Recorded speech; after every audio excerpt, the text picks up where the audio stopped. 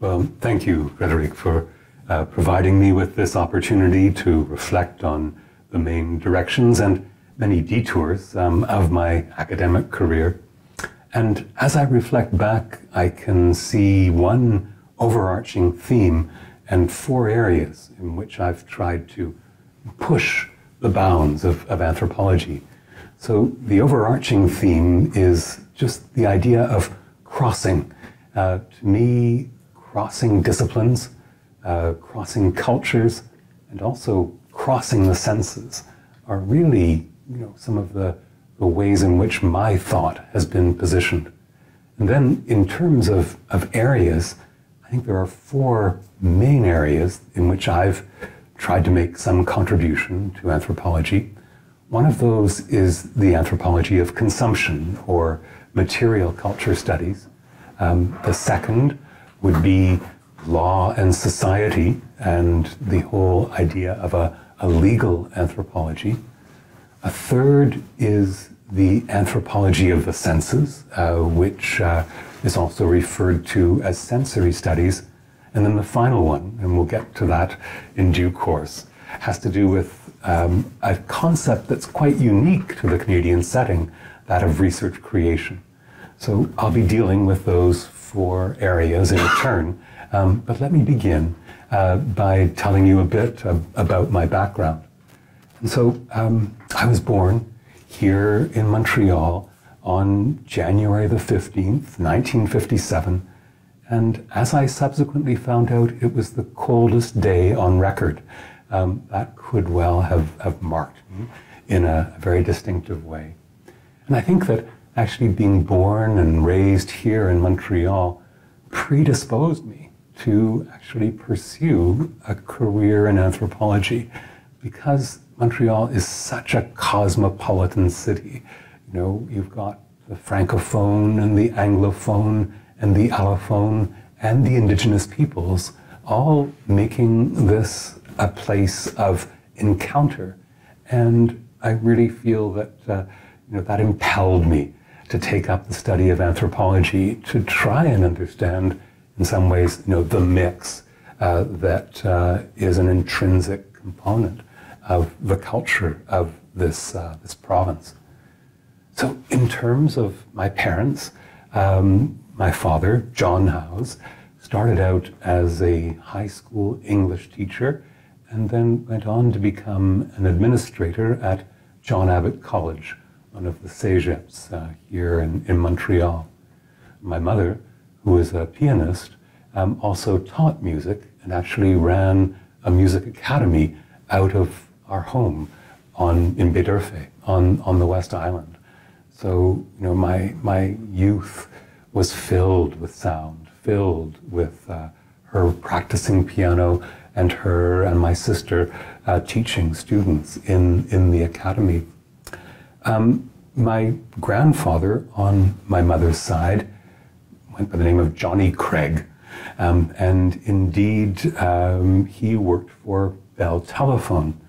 And during the Great Depression, for example, um, he planted telephone poles across the province. And as a result, he was recognized for this service when he retired by being promoted to the Order of the Pioneers of America. Uh, so he planted telephone poles the way that other Johnny, Johnny Appleseed, you know, planted apple trees. And one of the mementos that I have of my grandfather Craig is actually this um, rotary dial telephone, um, which I consider to be an heirloom. Try finding one today, and you won't be able to find it anywhere um, because they've all been decommissioned. And there's something about you know, lifting the receiver and especially about dialing a nine that I find deeply satisfying. So I occasionally take this phone out of the basement and just practice dialing for the satisfaction that that, that brings. So that's on my mother's side. Um, on my father's side, uh, his father was John Howes, and John Howes was a United Church minister who was stationed, first of all, in Hudson, Quebec, and then in Dryden, Ontario, and finally in Victoria, um, BC. And the way in which I remember him is through this um, beadwork. Uh, and this beadwork um, is said to come um, okay, uh, is said to come from uh, one of his parishioners uh, in northern Ontario, a Cree parishioner, uh, according to family lore, gave it to him. But actually, as I discovered when this came into my possession, uh, it has a different provenance. Um, so um, actually, it wasn't likely a gift. Uh, but my father wrote on the back, beadwork done by a First Nation artist. According to my grandfather, George Van Vliet, the beadwork decorated Louis Riel's tobacco pouch. I have no way of verifying this suggestion of the origin of the beadwork. Okay, so um, actually, this didn't come from uh, my father's father, but rather from his mother's father, who collected it. And as for its authenticity, um, if you go on the internet, you will find close to a hundred examples of Louis Riel's tobacco pouch. So um, I, I, indeed, you know, there's no way of verifying the provenance. Um, in any event, what I admire about it is the aesthetic. Uh, I find the actual colors, uh, the pattern, and indeed the texture uh, to be um, really and truly beautiful.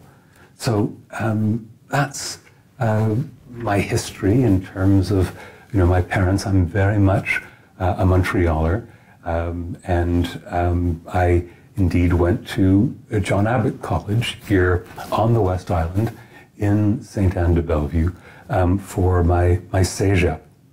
And when I finished CEGEP, um, I had a choice to make um, either go into anthropology um, or go into law.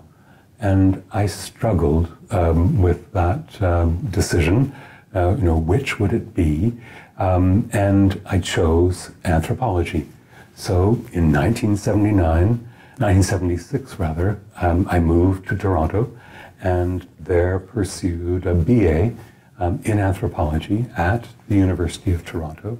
Um, I would note that one of my classmates was Chris Trott, who's also figured in the Possédé uh, series. And then after I completed my BA, uh, I went to do um, a master's in anthropology um, at Oxford. Now, um, you know, I found, however, that um, I could not get law out of my system. So even though I had chosen anthropology and braced it, um, what happened when I finished my, my master's degree was that I came back to Montreal and I enrolled in the national program at McGill uh, Law Faculty. And so the national program is one in which um, you study for a Bachelor of Civil Law and a Bachelor of Common Law side by side. And you end up after four years with both um, degrees, hence the idea of it being a national program. And I found it fascinating uh, to study law. At the same time, couldn't get anthropology out of my system. So in the end, um, what happened once I finished uh, my law degrees in 1985 uh, is that um, I enrolled in the PhD program in anthropology at um, the Université de Montréal. Uh, so I, I, was indeed a perpetual student. I, I, dragged out my education, you know, and ended up with five degrees. Uh, and uh, in that regard, uh, I was, however, very fortunate to have um, a wonderful supervisor and mentor during my time at the Université de Montréal, and that would be Gilles Bibeau. Uh, and Gilles, um, I have always modeled my career after him, especially you know his dedication to students, to advancing um, you know their careers, um, advancing their ideas. Uh, he was such a wonderful sounding board um, for my thinking, and I especially remember uh, the um, evenings um, in the basement dining room of his and Ellen Corin's house on Jeanne-Mance, uh, where all of us PhD students would be gathered together. There would be 30, uh, 35 people in attendance, and the talk would go on until well into the night. So, um, you know, I have a wonderful recollection of um, my time uh, then back in anthropology, uh, studying for the PhD. So, as a result of my my dual formation in law and anthropology, I have come to lead what I can only describe as a double life. Uh, in effect, uh, I have been a professor of anthropology at Concordia since 1986. So my full-time uh, career has been based in this university. Um, but since 2012, um, I have been an adjunct professor in the Faculty of Law at McGill. Uh, and so I have a foot in both institutions, in both disciplines. And indeed, um, I continue teaching um, at least one course a year at McGill.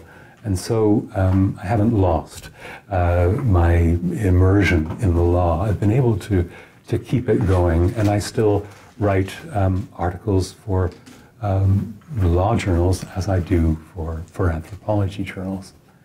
Um, so a double formation leading to a double life, um, but a very satisfying life as a result of sort of crossing the borders between the two disciplines and exploring each from the standpoint of the other. And we'll come back to that theme presently.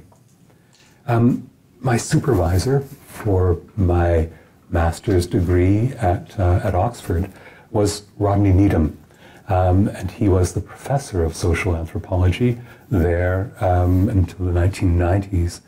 Um, and his influence um, is reflected um, in the topic of one of my first published articles, um, which was called Olfaction and Transition. And you can already hear in the title of that article an echo of a very famous piece by Rodney Needham called Percussion and Transition. And in that piece, which was published, I think, in 1976, um, Needham pointed to the fact that, you know, frequently at moments of transition, there is some kind of percussion. So think of New Year's Eve, the ringing of bells, or all those sort of sound makers that give off, you know, some kind of, of sound.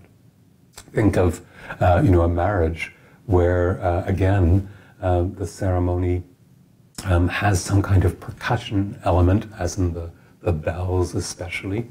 Um, or, you know, think of the Roman Catholic Mass, where the moment of transubstantiation, when the bread and the wine become the body and blood of Christ is marked by, I love this word, tintinnabulation.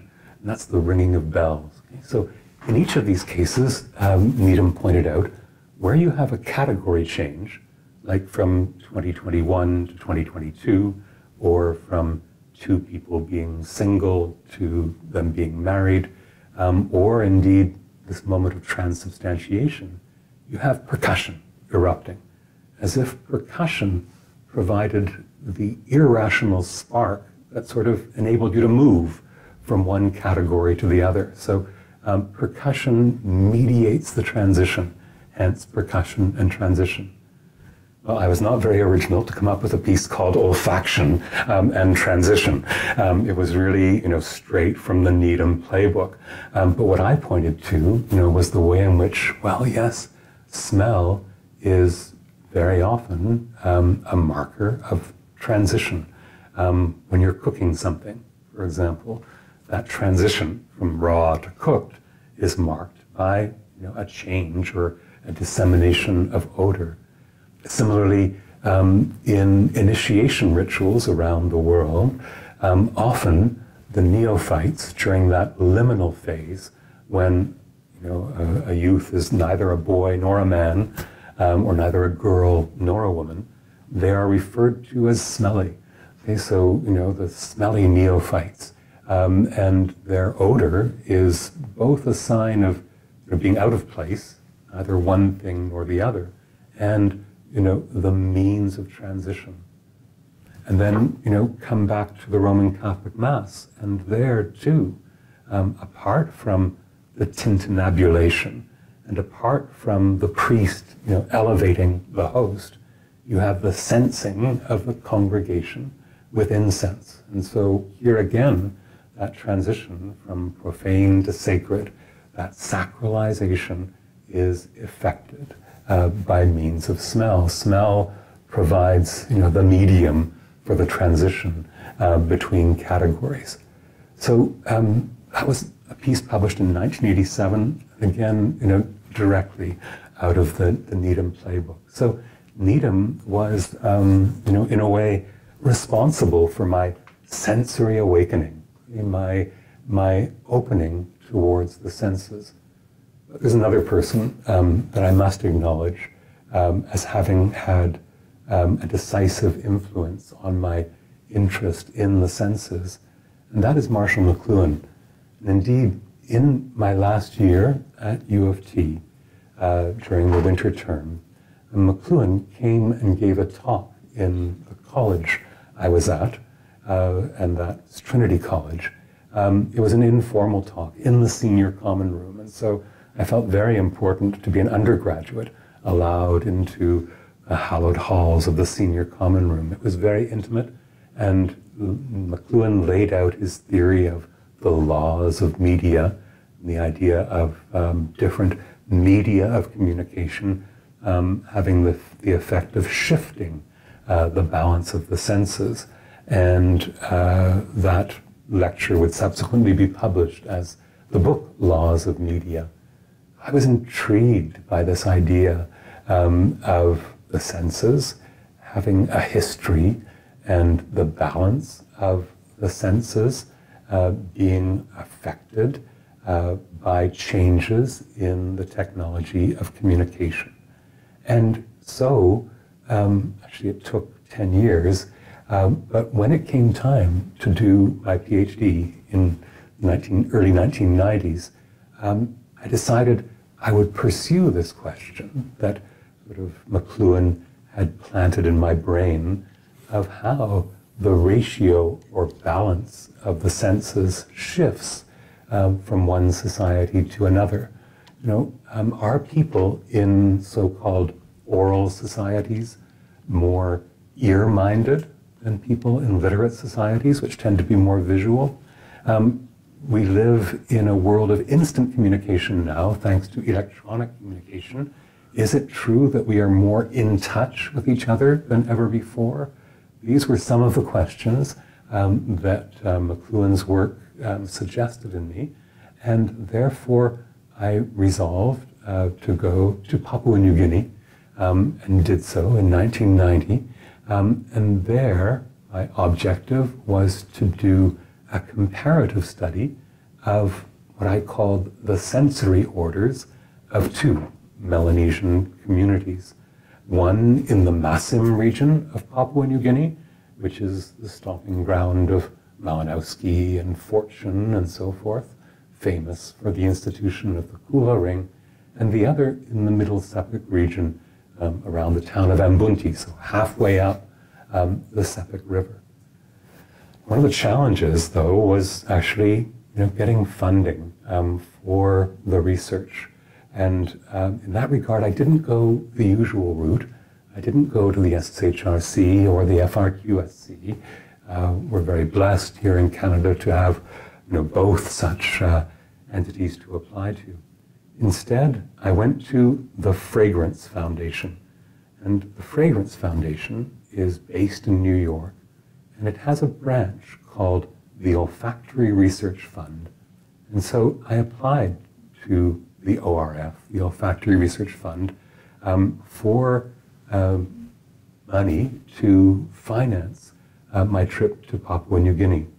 And in the next section, um, I will describe some of my findings uh, that were basically having to do with me being led by my nose.